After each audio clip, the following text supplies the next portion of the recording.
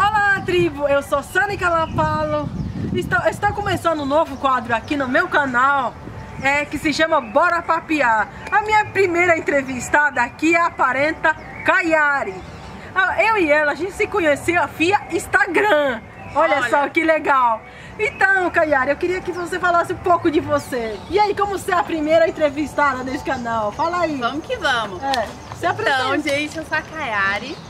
Eu sou de Vitória da Conquista, da Bahia. Sou cantora, compositora, rapper.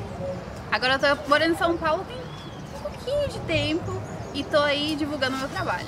E agora eu tô muito feliz agora conhecendo essa pessoa que eu já admirava, entendeu? Quando ela comentou na minha foto, eu falei. Tô muito feliz. Kayari, é uma honra te receber aqui no meu canal. É uma honra, honra imensa assim. Porque eu vi algum do mundo os seus vídeos lá, você cantando. Eu achei, caramba, essa menina tem um perfil interessante. Vou chamar ela. Alguma coisa a gente tem que fazer show. Sabe, Kayari, eu queria que você me contasse como, quando você começou, quando você começou a notar esse talento que você tem de cantar. Me fala aí um pouco. Então, é, eu comecei a cantar desde criança, por volta de 8 a 9 anos de idade. Eu já escrevia alguns versos, eu falava, nossa, eu não tinha ainda noção assim, o que é rima, o que é isso, mas eu vi que tinha uma sonoridade legal. Então, cantando, vendo algumas cantoras na televisão, na televisão eu começava a imitar, pegava o microfone, microfone de brinquedo, controle remoto, começava lá, nossa, sou uma diva. É uma diva, é uma E diva, uma né? diva, divas. E daí, com o tempo, eu fui cantando, aperfeiçoando, Que né? demais! Escrevendo muito, todos os dias eu escrevo uma música. Ah, Aí quer dizer que você componha também, canta essas músicas, é isso? Isso. Caramba! E meu. agora tenho gravado, né? sobre Aham. Videoclipes, músicas nas plataformas digitais. Aham. A carreira. É, tem algum trabalho seu na Spotify, alguma coisa assim? Onde podemos encontrar o trabalho seu? De você cantando e tudo? Onde podemos encontrar? Bom, todas as músicas, desde o iníciozinho lá que comecei a gravar em 2014, vocês podem ouvir no SoundCloud. Olha No só! SoundCloud. E Depois breve- estará no link aí da descrição. Sim. No YouTube também vocês podem encontrar muitas, muitas coisas. Qual é o seu canal? É Gabi Kayari. Ou você colocar Kayari, já Vai aparecer, né? Jogar no Google também vai aparecer. Caramba! Então, em breve, em todas as plataformas, estarão todas as músicas que eu venho com uma roupagem nova. Tô aí pegando experiência e tô trabalhando. Incrível isso, gente. Essa minha menina é, é um talento completo, ela componha. Cê- Só falta me dizer que sabe dançar também. E aí? Mas isso. A gente tenta, a a gente Matilda? tenta dançar um pouco. é uma artista completa. Sabe o que eu queria te perguntar, Kayari? É, nota-se, né? Nota-se que você é uma. Você tem alguma coisa indígena. Me diz aí, é, você é uma indígena pura, como se diz assim no- nos dias de hoje, ou você é uma indígena descendente? E me fala um pouco disso. Então, eu sou descendente e tenho muito orgulho disso. Eu, há um tempo atrás, eu não externei. Uhum. Era algo que eu tinha, assim, muito, é, muita conexão com a natureza. Sempre tive, sempre tive Uhum. muito amor por isso. E aí, com o tempo, a Você gente sabe, vai... é, é, você da linhagem de qual povo? Já sabe? Já descobriu isso? Sim, dos indígenas do sul da Bahia. Sul da Bahia. A etnia, já descobriu? Isso. Qual que a são os etnia? pataxós. Os pataxó. Tanto é, gente, ela tá usando aqui agora colar pataxó. Tá? Sabe, se você se vê qualquer colar assim, em algum lugar, é pataxó. E ela tá usando. Isso é muito legal. Muito legal. Eu queria que você falasse um pouco qual ritmo que você canta. Se tem algum ritmo específico, qual você mistura, qual artista que te inspira. Eu queria que você comentasse mais sobre isso. Fala aí. Ó, eu canto rap, mas eu dou uma misturada aí, coloco um pouco de pop, um pouco, um pouco de blues, rock, que eu também gosto bastante. E alguns vídeos são acústicos. Aham. Mas a maioria dos meus trabalhos aqui em São Paulo tem sido mais ao rap de protesto, é, inclusive falando sobre a questão indígena, a questão dos descendentes, que tem que ser abordada. Sim, sim, sim, sim. Assim, eu diria assim, tem algum artista que te inspira, assim, caraca, eu Tem. quero. Esse cara eu admiro, ou essa mulher, não sei. É, fala aí, quem, quem é esse artista que te inspira? Musicalmente, pela trajetória, eu admiro muito a Rihanna. Uau, Rihanna, que lembra? um belo, Rihanna. Isso. Eu gosto bastante da Rihanna. Olha só, qual música específica assim, todas? Todas. Ah. Todas. Umbrella é legal. Cada, Sim. cada, cada sentimento com música. Às vezes quando eu tô muito triste, eu escuto uma. Quando eu tô Aham. mais feliz, arrumando a casa, eu coloco Sim. outra e começo a dançar. O então, o gênero que você canta, o seu gênero musical seria mais sim, é, Mais o rap. mas aí você mistura com reggae, porque eu vi no seu vídeo lá Sim. que você mistura um pouco de reggae, pop. Pô, isso é muito legal, meu. é. Esse, esse som, é- é- esse ritmo novo que você tá criando, isso é, é como diria lá na Bahia, massa. É massa pra caramba. Tem alguma coisa que você queira falar aqui, alguma coisa que você queira, sei lá, de falar para os seus parentes, se como um descendente indígena, alguma ma- bandeira que você abraça? Bom, Ah. a bandeira que eu abraço é a das pessoas que são descendentes né, dos indígenas, Uhum. Sim. porque existe muito preconceito, sabe, Aham. com a gente.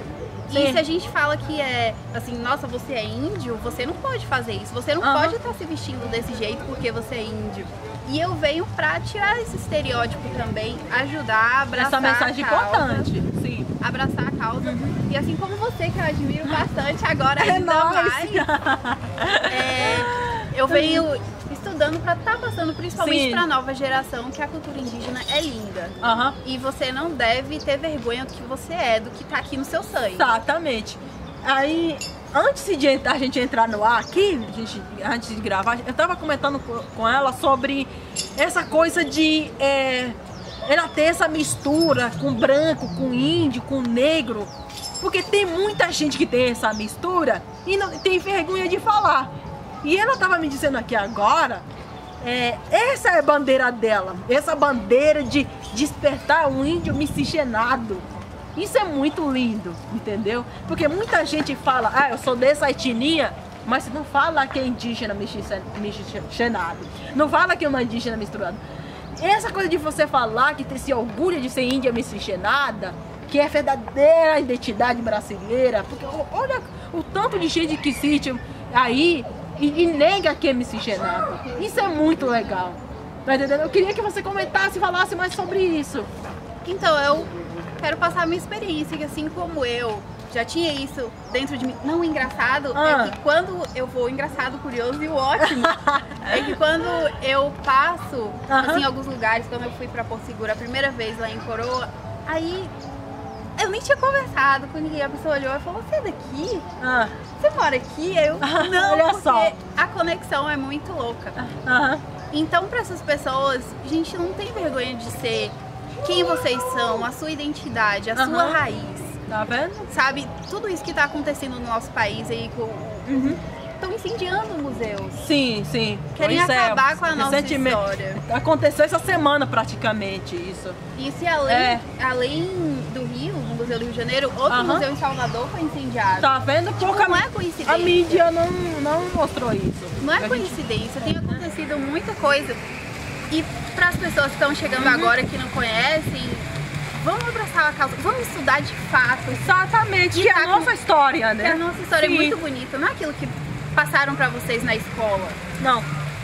Eu acho que a melhor forma, como, como sempre digo, a melhor forma de a gente conhecer e entender aquela cultura é se conectando com aquele povo, sabe? Visitando aquela tribo, é passando a conviver. Como é essa conexão que estamos fazendo agora?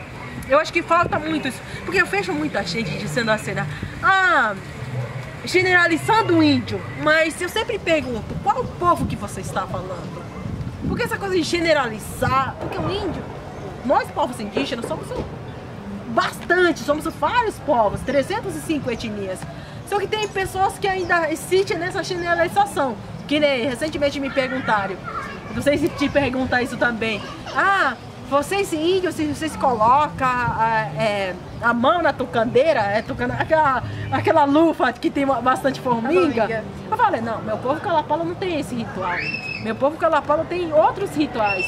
Eu queria perguntar pra você se te pergunta isso também. Ah, índio come gente, índio sei lá o quê. Eu Sei lá, as pessoas fazem essa gracinha contigo. Eu queria que. Muita pergunta estranha. aí. Muita sobre os hábitos, Uhum. sobre ah, o dialeto, que eles acham que é só, somente um. Hum. Isso é uma língua, só que não. Cada aldeia tem a sua língua, tem a sua tradição. Cada povo, são Cada dos, povo. do- ah, não sei se você sabe, são 274 línguas indígenas ainda faladas no Brasil. Português é uma língua estrangeira pra gente, né? E o seu povo, é, o povo que você descende, o povo pataxó, eles falam pachorrã. Sim, eu comecei a aprender o Ah, pachorrão. você sabe falar algumas coisas de pach- pachorrã? Eu comecei a aprender o ele, que é obrigado. Olha só! E algumas coisas eu comecei Sim, sim. passando pra Tá galera vendo, também tá gente? chegando. Ela já sabe, tá? Foi Eu queria criado. pedir E- pra essa moça cantar aqui. eu- ela veio mostrar o trabalho dela aqui, ela tem que cantar. Então eu queria lhe pedir pra você cantar um pouco. E vamos que vamos. Vamos. Um, dois, três e. Tente ouvir o mar ao invés de notificação. Conexão sincera que traz calma ao coração. Realidade virtual, entrar em contradição. Perder tempo com besteira está fora de cogitação. Chavantes, Guaranis, Caiapós e Anomamis, Tupiniquins, Pataxós, Carajás, Nambiquaras, Terenas, Camaiurás, do Amazonas ao Paraná. Vale a pena conhecer, da Bahia ao Pará. É riqueza originária, vem ver. Oh, Mas essa música é da sua autoria. É, minha. Olha só, o que, que te inspirou pra você essa música? O amor pela cultura. Olha que lindo isso. Eu queria é, te perguntar assim, tudo que você passou até agora, o que que te levou, sabe, te inspirar a chegar, é, compor essa música principalmente. Quais são os seus planos futuros? Se você quer se transformar em uma grande cantora, uma referência na área de, da, da sua, do seu gênero musical, que, quais são os seus planos daqui pra frente? Bom, o que me inspirou foi nessa andada, nessa estudada e com essa conexão foi a luta dos Oh, povos demais. indígenas. Então eu troco ideia com povos indígenas do Brasil Aham. e de fora também. Pô, isso é muito legal. E ela tava me dizendo que ela fala inglês, ela além de cantar, ela dá aula de inglês, eu vou aprender inglês com ela. Vamos sim. Aí você troca ah, é, o contato com esses in- in- indígenas de fora. E eu sempre tô perguntando, e como é que tá a situação? O que que tá acontecendo? Não é aquela coisa assim, Aham. fake. A gente é parente. Sim. Entendeu? Aham. A gente vai conversando e eu vi que a causa precisa de muita força e de muita visibilidade. Claro, claro, sim. É o que a gente tá tentando fazer, né? Estamos Sim. fazendo a nossa parte cada vez mais. Eu com esses meus vídeos, com as minhas palestras. É, isso é muito importante. Cada, e você com o seu canto, com esse seu conhecimento, levando isso para aqui para Brasil, para fora também. Isso é muito legal. Eu fico muito feliz de estar trocando esse, essa ideia contigo agora no meu canal e na estreia desse meu programa. Ah. E eu quero cada vez mais entrevistar pessoas como você, que possa acrescentar e mais e mais ainda na causa indígena, não só na causa indígena, e outras coisas também, né? Isso, porque além da- dessas letras, é, os meus raps também falam sobre protesto, sobre Uhum. é, ti- a evolução mental, sabe? A gente não pode estar sendo levado pela mídia, levado pelo que as pessoas falam. Disse por aí, né? Tem muita desinformação. Então, não Ah, pode. A gente tem que estar firme. Aham. Tem que estar firme, tem que dar a cara a tapa mesmo. Tá porque é isso que vendo, eles gente? querem. E eles mensagem. querem que a gente fique, sabe, pra trás e tenha medo de lutar. Exatamente. E para finalizar, e quais são as- as suas três últimas palavras serias, se você quiser falar mais, para o público que está nos assistindo? Quais Três são? últimas É, é é. Ah, Pode falar céu. qualquer mais, mais coisa se quiser. Quais são? A- Qual é a tua mensagem para o povo que está nos assistindo aqui? Não tenha vergonha de ser você, não tenha vergonha da sua descendência. Isso é a coisa mais bonita e mais pura que você pode passar pra todo mundo. Seja você, independente do que dizem, do que pensem, não importa. Seja você. Ainda a todo momento. Arro! Dá um abraço aqui, Kayari. Esse foi a estreia do meu programa Bora Papiar com essa incrível aqui, a Kayari, a cantora, ela é uma artista completa, Ah, faz compõe, tudo, faz faz tudo. Tá entendendo? Se vocês quiserem contratar o show dela, aqui vai estar embaixo o link da, da página dela, do canal dela, tudo dela, tá entendendo? É isso, gente. Gratidão por nos assistir até agora. Arro, arro, arro sempre. É nóis. É No outro braço aqui.